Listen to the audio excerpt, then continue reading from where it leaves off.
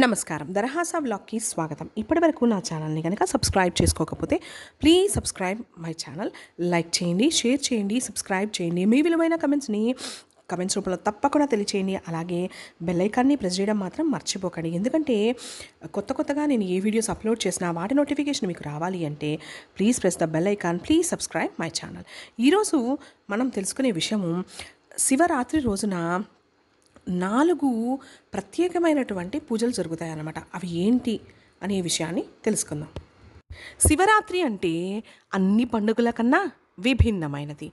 అన్ని పండుగలు ఉదయం పూట చేసుకుంటే ఈ పండుగ మాత్రం రాత్రి అంతేకాదు అర్ధరాత్రి కూడా పూజ చేస్తారు.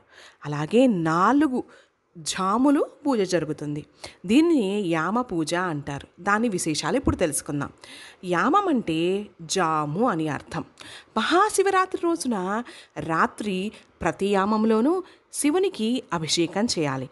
ప్రథమ యామం రెండవ యామంలోనూ మూడవ యామంలోనూ మొదటి రెండు యామాలు అంతర్గతాలు. అలాగే నాలుగో యామంలో చివరన తెల్లవారుతుందన్నమాట. ఇలా నాలుగు యామాలు మనం పూజ చేయటం వల్ల మనకి సకల సౌభాగ్యాలతో పాటు ఐశ్వర్యాలు కలుగుతాయి. మహాశివుడు జ్యోతిర్లింగ రూపంలో భూమిపై అవతరించిన రోజే మహాశివరాత్రిగా హిందూ పురాణాలు మనకి తెలియచేస్తూ ఉన్నాయి. ఈ రోజున శివుడికి ప్రత్యేక పూజలు చేస్తే ముక్తి లభిస్తుంది అని భక్తుల యొక్క నమ్మకం.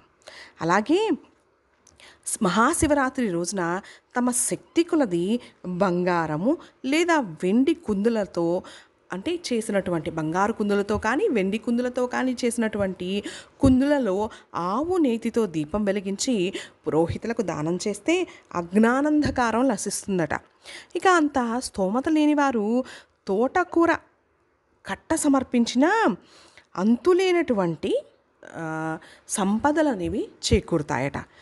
ఇక మహాశివరాత్రి నాడు పద్నాలుగు లోకాలలోని పుణ్యతీర్థాలలో బిల్వమూలాలు ఉంటాయట కాబట్టి ఆ రోజు ఉపవాసం చేసి ఒక బిల్వపత్రాన్నైనా శివుడికి సమర్పించాలని మనకి శాస్త్రాలు చెబుతూ ఉన్నాయి. అలాగే శివరాత్రి రోజున శివాలయాల్లో జరిగే పూజలలో పాల్గొంటే అష్ట ఐశ్వర్యాలు చేకూరుతాయని మనకి శాస్త్ర వచనం. ఇక ఆ రోజున ఆలయాల్లో జరిగే నాలుగు యామాల ప్రత్యేక పూజ జరుగుతుంది. యామం అంటే చెప్పాను కదండి జాము అని అర్థం అన్నమాట. ఇలా నాలుగు జాములలో నాలుగు విభిన్నమైనటువంటి పూజలు జరుగుతాయన్నమాట. ప్రతి యామం పూజకు నిర్దిష్టమైనటువంటి అభిషేకాన్ని చేస్తారు.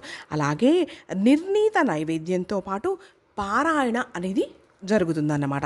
ఇక తొలి యామం పూజలో అభిషేకం అలంకరణ ఉంటాయి. గంధం బిల్వపత్రాలు తామర పువ్వులతో స్వామిని అర్చిస్తారు. నైవేద్యంగా పెసర పొంగల్ని సమర్పిస్తారు. ఋగ్వేదాన్ని పారాయణ చేస్తారు. ఇలా చేయడం వల్ల ఆ పూజ చేయించుకున్న వారికి సకల సౌభాగ్యాలు కలుగుతాయి. ఈ యామ పూజలో పాల్గొనే వారికి చాలా చాలా అదృష్టం అనేది వరిస్తుందని సకల సౌభాగ్యాలు కలుగుతాయని భక్తుల విశ్వాసం. ఇక రెండవ యామంలో ఈ పూజలో మధుపర్కం అంటే చక్కెర పాలు పెరుగు నెయ్యితో అభిషేకం చేస్తారు. ఆ తరువాత రోజ్ వాటర్ అంటే గులాబీ జలంతో మరియు కర్పూర గంధన లేపనంతో స్వామిని అలంకరించి బిల్వపత్రాలు తులసితో అర్చన గావిస్తారు. నైవేద్యంగా పాయసం సమర్పించి యజుర్వేదాన్ని పారాయణ చేస్తారు. దీని వలన సంతాన ప్రాప్తి కలుగుతుంది. మూడవ యామంలో ఇందులో స్వామిని తేనెతో అభిషేకించి కర్పూర గంధన లేపనంతో అలంకరణ చేస్తారు. స్వామిని బిల్వపత్రాలు మల్లెపూలతో అర్చన చేస్తారనమాట ఇక నైవేద్యంగా అన్నము నువ్వులు నైవేద్యంగా నివేదిస్తారనమాట సామవేదాన్ని పారాయణ చేస్తారు. ఇలా ఈ మూడవ యామంలో పూజ చేయించుకున్న వారికి అపార సంపదలు అనేవి కలుగుతాయట. నాలుగవ యామంలో చెరుకు రసంతో అభిషేకం చేసి మల్లెలు తామర పువ్వులు కర్పూర గంధన లేపనంతో స్వామిని అలంకరిస్తారు. తామర కలువ మల్లెపూలతో అర్చన గావించి వండిన అన్నాన్ని నైవేద్యంగా పెడతారు. ఈ సమయంలో అధర్వణ వేదాన్ని పారాయణ చేస్తారు. ఇలా చేయడం వల్ల కుటుంబంలో సఖ్యత కలుగుతుందని పండితులు మనకి తెలియచేస్తూ ఉన్నారన్నమాట. ఇదేనండి మహాశివరాత్రి రోజు జరిగే నాలుగు యామాల పూజ విధానము. పూజ ఎలా జరుగుతుంది అనే విశేషం అన్నమాట దీనిని చేయించుకున్న వారికి సకల సౌభాగ్యాలతో పాటు కోరుకున్నవన్నీ జరుగుతాయి. అలాగే జ్ఞానోదయం అనేది కలుగుతుంది అన్నమాట ఆత్మకి జ్ఞానం అనేది లభిస్తుంది. మీకు కనుక నేను చెప్పిన విషయాలు నచ్చినట్టయితే please subscribe my channel like చేయండి షేర్ చేయండి సబ్స్క్రైబ్ చేయండి. మీ విలువైన కమెంట్స్ని కమెంట్స్ రూపంలో తప్పకుండా తెలియచేయండి. అలాగే బెల్ ఐకాన్ని ప్రెస్ చేయడం మాత్రం మర్చిపోకండి. ఎందుకంటే ఏదైనా కొత్త వీడియో నేను అప్లోడ్ చేస్తే వాటి నోటిఫికేషన్ మీకు వెంటనే రావాలి అంటే please press the bell icon please subscribe my channel నమస్కారం.